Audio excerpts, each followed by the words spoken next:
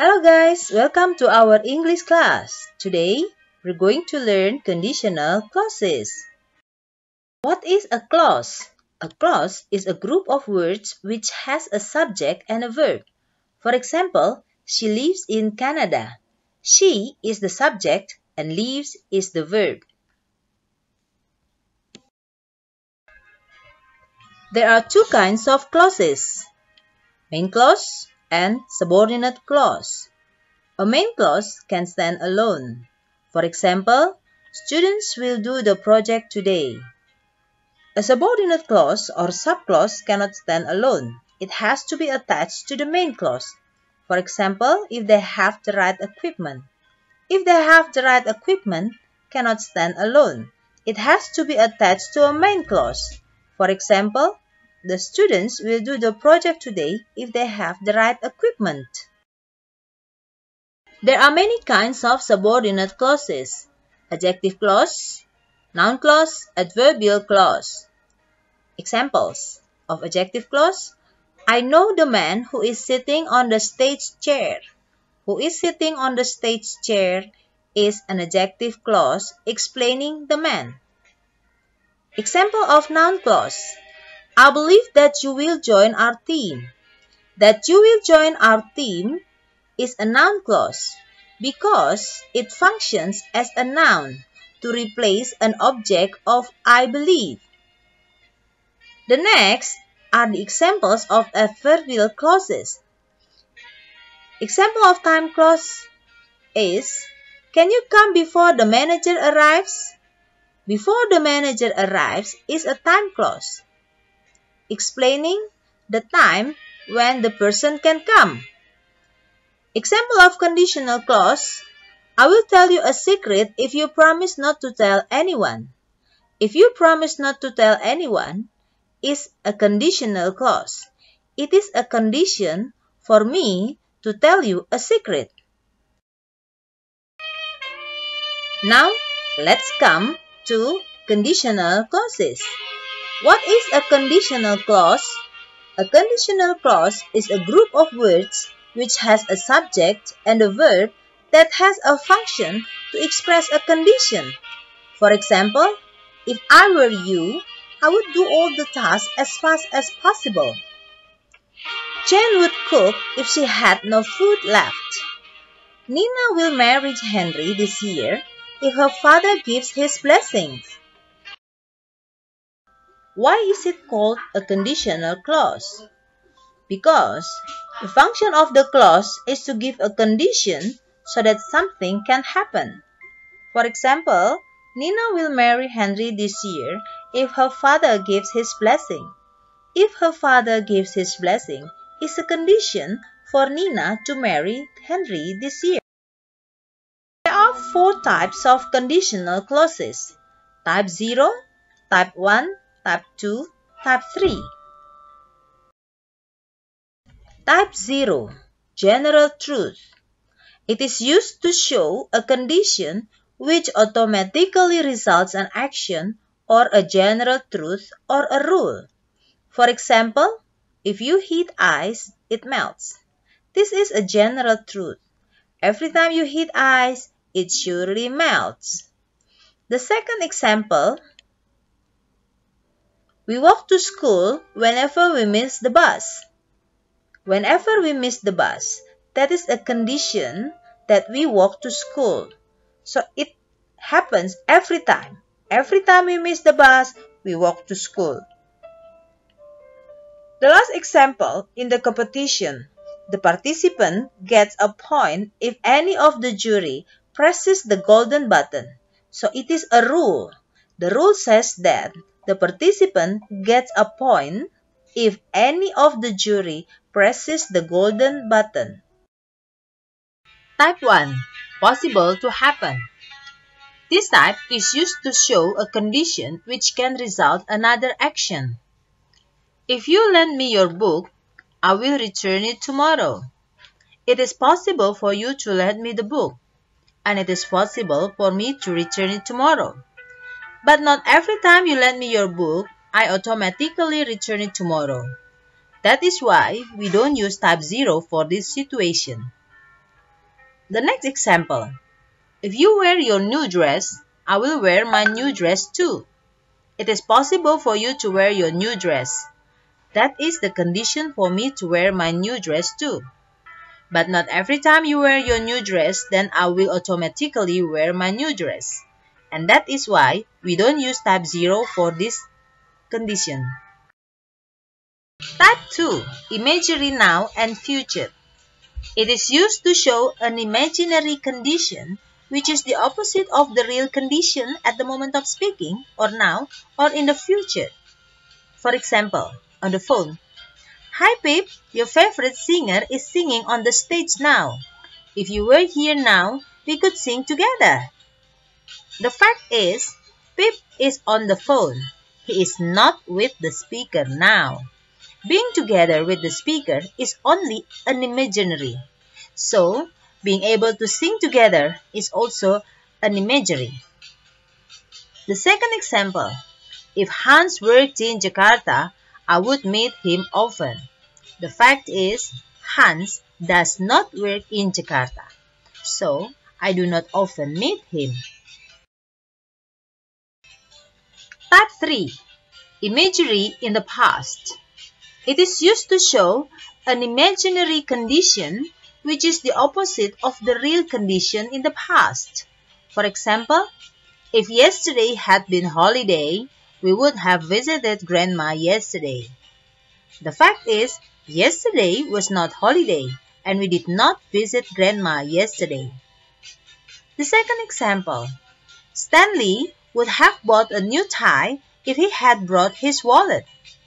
The fact is, Stanley did not buy a new tie because he did not bring his wallet. Mixed type, imagery in the present and in the past. It is used to show an imaginary condition which is the opposite of the real condition in the present and in the past. For example, if Ryan had finished his chores, he would not be cleaning the house now. The fact is, Ryan did not finish his chores, so now he is cleaning the house. Again, in the past, Ryan did not finish his chores.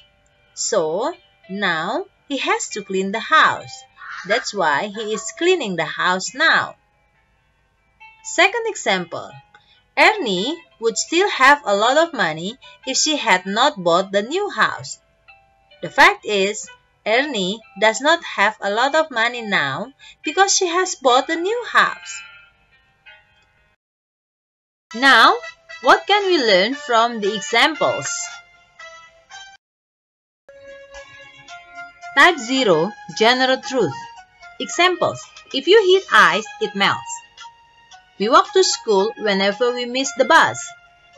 In the competition, the participant gets a point if any of the jury presses the golden button. Please check that the blue words or the blue printed words are subject and the red printed words are the verbs. So from these sentences, we can conclude that the main clause and the subclause are simple present tenses.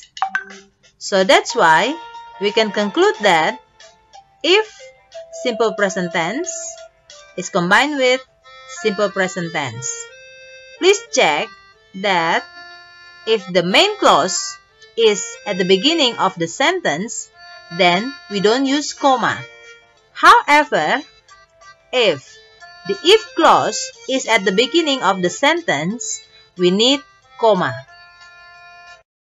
Now, let's do these exercises for type 0.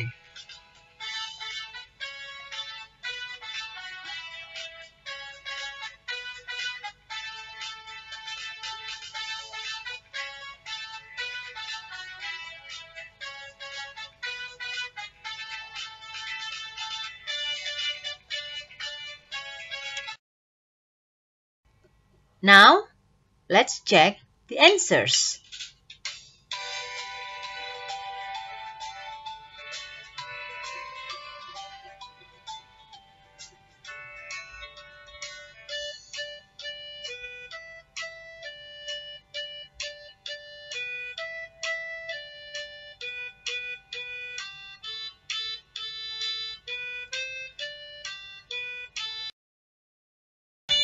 Type 1 now, check the examples. If you lend me your book, I will return it tomorrow. I will wear my dress if you wear your new dress too. From these two sentences, we can conclude that the tenses used are simple present tense and will verb 1 or future present.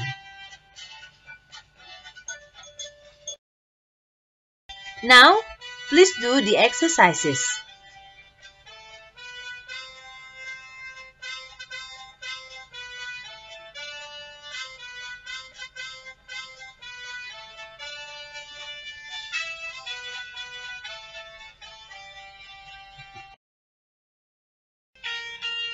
Now, check the answers for the exercises of type 1.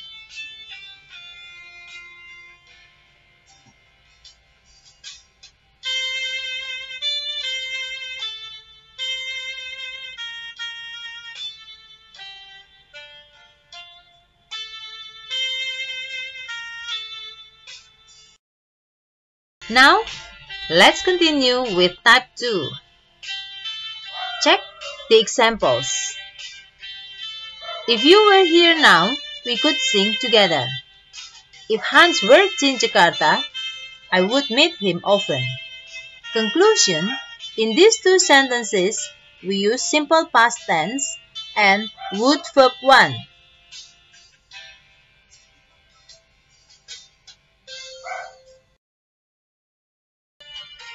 Now, let's do the exercises for type 1.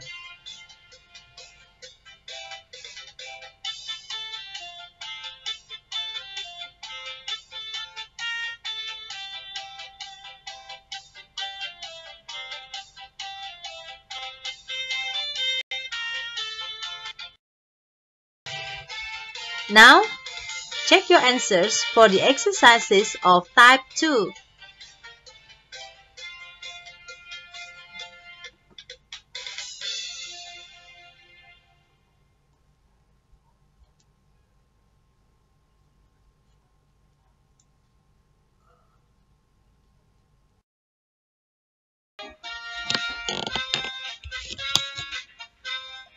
Type 3. Imagery in the past. If yesterday had been holiday, we would have visited Grandma yesterday. Stanley would have bought a new tie if he had bought his wallet. From these two examples, we can conclude that past perfect is used and also would have verb 3. So, if past perfect and combined with would have verb 3. Now, do the exercises for type 3.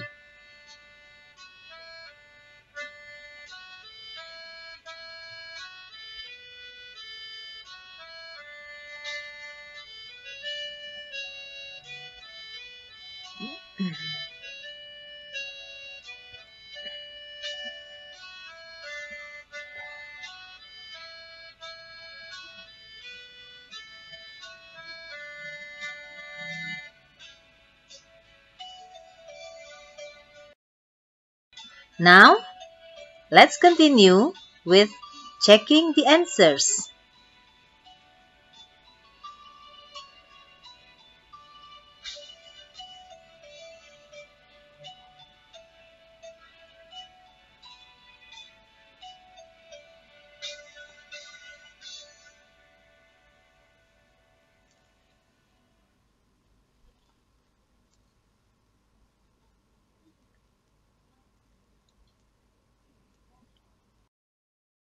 Now, please continue with mixed type. Look at the examples. If Ryan had finished his chores, he would not be cleaning the house now. Ernie would still have a lot of money if she had not brought a new house. The conclusion, we combine would verb 1 with past perfect. So, we have subject would verb 1 plus if past perfect or if past perfect combined with subject would verb 1. The next thing to do is to do the exercises of conditional clauses. Please return to Google Classroom. There will be extra points if you do the exercises at the allocated time. Thank you for your attention. Be kind and be happy. God bless you.